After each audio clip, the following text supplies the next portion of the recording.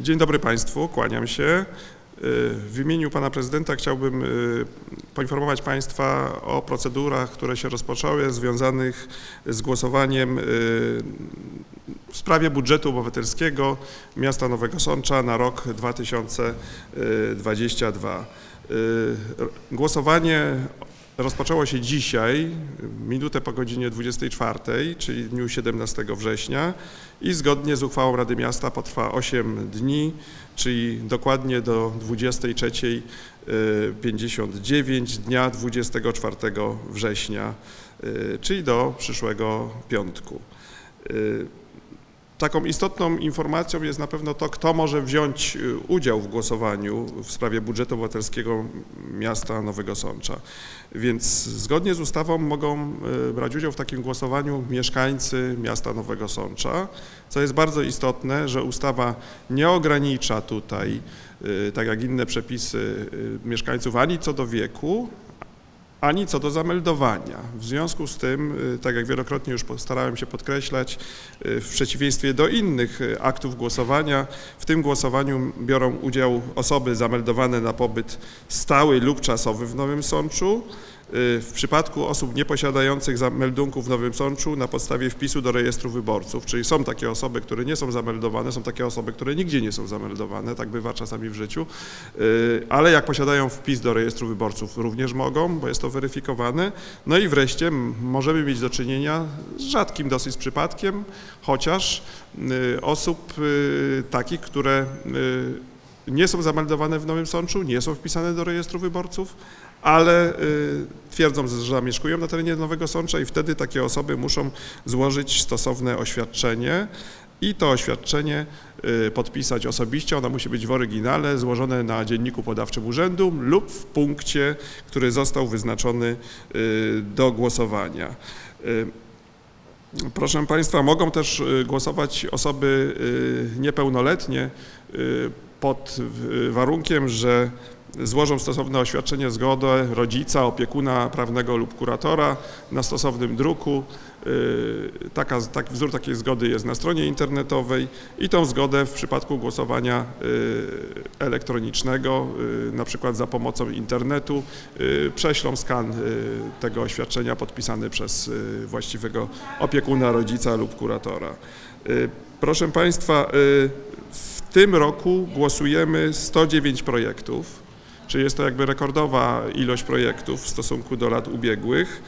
Y, mamy do, y, do rozdysponowania y, kwotę 3 468 500 złotych czyli ta kwota nam co roku rośnie. W tamtym roku, jak przypominam, było 3 miliony 180 tysięcy, czyli ta kwota ma zostać rozdysponowana na 25 osiedli miasta Nowego Sącza, ponieważ my przyjęliśmy w naszej uchwale, nasza rada, ten wariant e, osiedlowy, że ona jest dzielona na osiedla, nie ma puli ogólnomiejskiej, nie ma puli jakiejś obszarowej e, związanej z, z, z kilkoma osiedlami naraz. Taka bardzo istotna informacja to jest tak, Państwo możecie głosować korzystając ze strony www.bo.nowysacz.pl. Tam jest strona y, budżetu obywatelskiego i tam Państwo macie wszystkie projekty w zakładce, projekt, w zakładce projekty, które przeszły pozytywnie weryfikację i na które możecie oddać głos. Możecie sobie Państwo te projekty wybrać jak chcecie, czy w kolejności wpływu, czy, czy osiedlami, ponieważ jest tam możliwość y, takiego układania tych projektów. Każda osoba może y, zagłosować tylko jeden raz. Co jest istotne dla państwa, to jest to, że za, a zarówno ustawa, jak i uchwała nie ogranicza państwa, nie ogranicza państwa, y, jeśli chodzi o y, oddanie głosu na jakieś konkretne osiedle. Czyli jeżeli Państwo jesteście na przykład z osiedla Kochanowskiego, to nie znaczy, że na Wólkach, na projekt z Wólek nie możecie zagłosować. Jeden projekt, który wybierzecie, y, dlatego już to wielokrotnie przedkładałem, taki, czy podawałem do publicznej wiadomości taki przykład prosty, że wystarczy, że, że mamy dzieci, które mieszkają na innym osiedlu i mamy wnuki i akurat uważamy, że tam jest potrzebny jakiś ogródek dla dzieci, to możemy zagłosować na ten projekt. Proszę Państwa, poza tym, że możemy zagłosować za pośrednictwem tej strony, jeszcze raz podaję www.bo.nowysacz.pl y, y, bo to jest najprostsze, jeśli mamy komputer, dostęp do komputera y, z domu, tabletu czy, czy smartfona. To wtedy, jeżeli za pośrednictwem tej strony internetowej głosujemy, dostajemy, musimy podać numer telefonu, ponieważ dostajemy kod, specjalny kod, y, który wpisujemy, żeby uwiarygodnić nasze głosowanie. Ten kod można y, wykorzystać trzy razy, bo jeśli y, będzie chciała zagłosować na przykład za pomocą komputera nasza mama, babcia, która sama nie umie obsługiwać, ale od nas z domu, to również ten kod będzie można wykorzystać. Niezależnie od tego mamy wybrane tak zwane punkty do głosowania, w których Państwo, jeśli nie macie komputerów w domu, czy nie chcecie, y, możecie się udać do tych punktów w tym okresie i tam y, wyznaczony przez nas urzędnik, pracownik urzędu pomoże Państwu bezpośrednio w obsłudze y, i zagłosuje razem z Wami, oczywiście pod Waszym nadzorem. Taki punkt jest przede wszystkim, ja może podam, bo mamy troszkę zmienioną koncepcję tych punktów. W tej chwili mamy tych punktów więcej, natomiast nie wszystkie punkty są w związku z tym stałe. Mamy tak zwane, jak my to mówimy w naszym slangu, punkty ruchome. Ale przede wszystkim e, mamy taki podstawowy punkt Centrum Informacji Turystycznej w Nowym Sączu, czyli tutaj przy ulicy Szwedzkiej 2, czyli w centrum i ten punkt jest czynny przez cały okres głosowania od poniedziałku do piątku, od godziny 9 do 17 i jeszcze dodatkowo jak ktoś e, nie ma czasu, to w soboty od 9 do 13 w sobotę będzie można się udać do tego punktu w Centrum Informacji y, Turystycznej, czyli tego punktu nazywanego przez nas tak potocznie stałym. Drugim takim punktem jest punkt w Sądeckim Urzędzie Pracy przy ulicy Zielonej 55 y, i ten punkt y, będzie czynny od poniedziałku do piątku, czy jest już czynny dzisiaj przez cały okres głosowania od godziny 8 do 14. Niezależnie od tego wprowadziliśmy takie punkty osiedlowe, jakby ktoś pod pracy miał, żeby miał bliżej. I to są punkty działające jeden dzień, ale można zgodnie z tym harmonogramem, który jest na stronie internetowej sobie podejść. I tak, jeśli chodzi o takie punkty, to jest siedziba Zarządu Osiedla Helena przy ulicy Starowiejskiej 2, i, w, I, z tego punktu będzie można skorzystać w poniedziałek między 16 a 18. Y, następnym takim punktem jest Grodzka Sala Bankietowa przy Zabie 2 y, Grodzkiej Spółdzielni Mieszkaniowej, to jest przy ulicy Kołątaja 13 i z takiego punktu będzie można skorzystać we wtorek, czyli 21 od 16 do 18. Y, świetlica osiedlowa, kolejny punkt, świetlica osiedlowa Nawojowska, to jest ulica Kusocińskiego 4A, z tego punktu będzie można skorzystać we wtorek 21 września między godziną 13 a 16.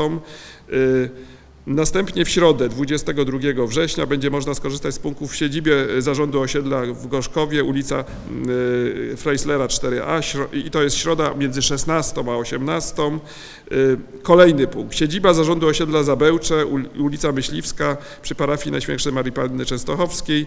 To jest czwartek 23 września między godziną 16 a godziną 18. Tam będzie przedstawiciel, który będzie w razie czego pomagał wypełnić no i zagłosować przede wszystkim. Kolejny punkt, świetlica osiedlowa w centrum, to jest Aleja Wolności 39A i ten punkt y, jest czynny w piątki, czyli dzisiaj i 24 w piątek, czyli w ostatnim dniu głosowania, od godziny 13 do 16. No i dziewiąty punkt to jest świetlica osiedlowa y, Kilińskiego przy ulicy Storalskiej 28. Y, ten punkt również jest obsługiwany w dwa piątki, czyli dzisiaj, jak i w ostatni piątek między 13 a 16. Jeśli ktoś nie będzie chciał komputerowo z domu zagłosować, nie będzie miał czasu podjechać do Centrum Informacji Turystycznej lub do Sądeckiego Urzędu Pracy, to może się jeszcze tam udać i y, zagłosować. Niezależnie od tego, ja też na prośbę koleżanek chciałem przypomnieć, że y, zwłaszcza takie przypomnienie do autorów y, projektów, że Państwo możecie y, promować te swoje projekty, ponieważ na stronie, o której cały czas mówię, www.bo.nowysacz.pl w zakładce projekty jest, otwiera się tak zwana lista projektów i przy wybranym projekcie można sobie ściągnąć plakat informacyjny de, dedykowany każdemu projektowi. I, I tam jest zarówno tytuł projektu, numer projektu, opis skrócony projektu, szacunkowy koszt realizacji i taki plakat można pobrać, autor projektu każdy, dlatego, żeby go na przykład zapromować wśród swoich, y, swojej rodziny, swoich znajomych, yy, ma gotowy, może go rozdać, może go do skrzynki pocztowej włożyć, także to jest takie ułatwienie dla każdego e, autora projektu, równo każdy, przy każdym projekcie, który przeszedł, może sobie coś takiego zrobić, także zachęcam. Ja wczoraj, mimo że oczywiście jako członek zespołu weryfikującego i do spraw budżetu, no, yy, nie mogłem składać projektów, ale też dla próbę sobie wy, wydrukowałem wydrukowałem tak wybrany projekt, taki plakat, bardzo fajnie wygląda z tymi wszystkimi y, danymi. Y, Także proszę Państwa, no mamy 109 projektów, y, może dam jakieś takie dane szacunkowe, wycofanych zostało 11, bo mieliśmy w ogóle rekordową liczbę 213 projektów w tym roku, Y, 91 z różnych przyczyn proceduralnych zostało odrzuconych, natomiast też były sytuacje zgodnie z, z uchwałą, że projekty zostały też połączone. W tamtym roku mieliśmy, przypominam, 73 projekty, teraz mamy 109. Zobaczymy, jaka będzie frekwencja. Serdecznie Państwa do udziału w tym głosowaniu. Y, Po zakończeniu głosowania y, do 7 dni, zgodnie z uchwałą Rady Miasta, czyli dokładnie 1 października, Pan Prezydent w drodze zarządzenia poda do publicznej wi- wiadomości listę projektów, które zostały wybrane. W, tym roku, co jest bardzo istotne, nie ma osiedla, w które by nie zgłosiło jakiegoś projektu. Minimum dwa projekty, nawet jest duża liczba projektów, czyli Państwo macie z czego wybierać. Y, I teraz tak, y, projekty na danym osiedlu będą wybierane y, w, y, w sposób dosyć prosty, tak jak to zwykle bywa, czyli ten projekt zostanie wybrany, który dostanie największą liczbę głosów. Ale często na projektach jest pięć lub sześć projektów. Y, Na osiedlach mamy pewne pule pieniążków, które mogą być wykorzystane dane osiedle. Czyli sposób wybierania jest następujący, że jeżeli, to jest tylko przykład taki, y, który jest łatwy rachunkowo, że jeżeli na y, osiedle mamy przeznaczone 150 tysięcy na budżet obywatelski w przyszłym roku, y, to jeżeli wygra projekt, który był na 100 tysięcy, bo dostanie największą liczbę głosów, to następny wchodzi drugi projekt pod względem ilości głosów, na przykład, ale przy jednym warunku, jeżeli on się mieści w tej pozostałej puli pieniędzy, czyli na przykład mamy jeszcze 50 tysięcy. Jeśli on będzie na 50 tysięcy lub mniej, to on wchodzi jako drugi, bo miał na przykład o 10 głosów mniej. Ale jeżeli będzie sytuacja taka, że drugi projekt no, przekracza swoim, swoją kwotą ten projekt, tą całą pulę, bo pierwszy wygrał na 100 tysięcy, a drugi jest na 90, to wtedy taki projekt się zgodnie z uchwałą odrzuca i wchodzi projekt kolejny, który się mieści. No, ponieważ nie ma możliwości y, realizacji tego projektu. Ale to nie jest jeszcze wszystko, dlatego że mamy tak zwane resztówki, czyli na osiedlach może być sytuacja taka, że pierwszy projekt, że mamy 150 tysięcy na dane osiedle, pierwszy projekt był na 100 tysięcy, a drugi projekt był na 40 tysięcy. No i zostaje nam 10 tysięcy, no i co z tym zrobić, prawda? Słuszne będzie pyta- pytanie ze strony państwa. Więc y, te pieniążki ze wszystkich osiedli wchodzą do tak zwanej puli resztówek. Y, No i mamy te projekty, które miały stosunkowo dużą liczbę głosów w mieście, ale nie weszły dlatego, że się nie zmieściły, albo dlatego, że były na zbyt duże kwoty. Czyli mieliśmy na osiedlu dwa projekty y, po 150 tysięcy, może być taka sytuacja, a mieliśmy tylko 150 osi- y, tysięcy na osiedle, no to wszedł ten, który miał największą liczbę głosów. Wtedy z tej puli resztówek, już nie w kolejności na osiedla, tylko wchodzą do tej puli w kolejności do budżetu obywatelskiego te projekty, które dostały największą ilość głosów w całym mieście, ale nie zmieściły się na danych osiedlach. I zasada jest taka sama, że jeżeli dojdzie do sytuacji, że jest projekt, który dostał najwięcej głosów w, starym, w całym mieście, ale jest na 150 tysięcy, a pula resztówek jest tylko na 100 tysięcy, tych, tych pieniążków, które zostały, no to on jest pomijany i wchodzi następny kolejny. Jeżeli mamy dwa projekty, które mają taką samą liczbę głosów, to wtedy y, zespół do spraw y, budżetu obywatelskiego przeprowadzi losowanie, czyli wejdzie ten y, projekt publiczny, zaprosimy nawet Państwa, ten projekt, którym b- będzie, który zostanie wylosowany. Do tej pory nie było takiej sytuacji, muszę powiedzieć. Natomiast y, może się zdarzyć tak, bo każdy ma prawo złożyć projekt jaki chce, że są projekty, które się tyczą, dotyczą y, y, tego samego obszaru, y, i one są y, sprzeczne ze sobą. No bo ktoś chce budować, była słynna sytuacja w tym samym miejscu, na tym samym terenie, na tej samej działce, amfiteatr, a ktoś inny chce mm, pole golfowe do minigolfa, a ktoś inny jeszcze chce boisko do siatkówki albo jakiś ogródek.